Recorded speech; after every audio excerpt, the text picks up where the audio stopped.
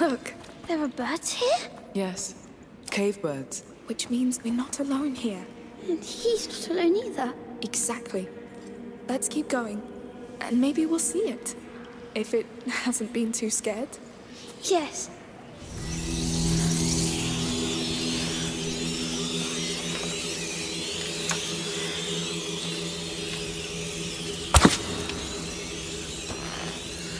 All right, these braziers can be moved. Mounted on rails, fed by Greek fire. Clever. The Order knows its way around rats.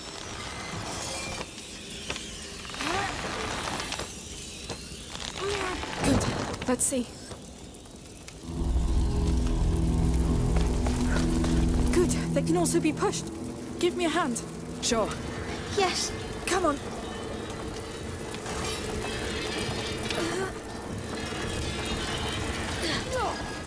There's a junction in the track. Let's switch direction.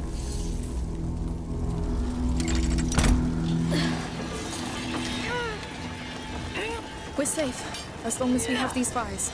Yes. All that Greek fire makes sense now. Ah, the bridge is just beyond. But that wreck is in the way. Can we get rid of it? I don't know. I'd need another angle. Let's go back and check.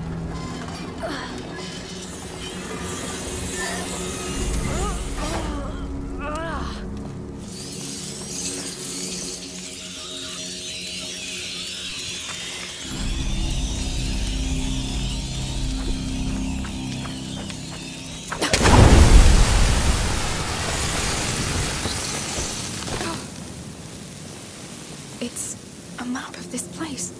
You can see the tracks and braziers. Not a map, a plan. You can see the mechanisms. There are others. There.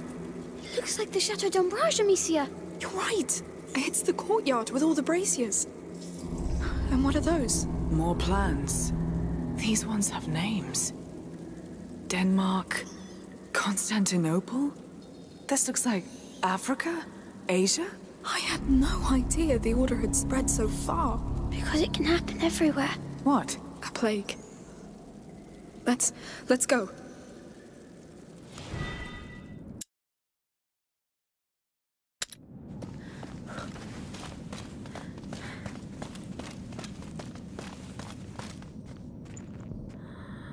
Take care of it, Hugo. Uh-huh.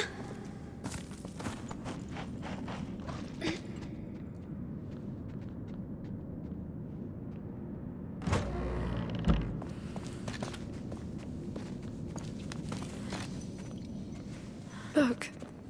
Children's clothes, toys. Basilius. They're his. This doesn't look like a playroom, though. They took them away from him. It means he's close. Somewhere beyond that door. One hell of a door for a child. Not just any child. We'll see. Let's go back to that door.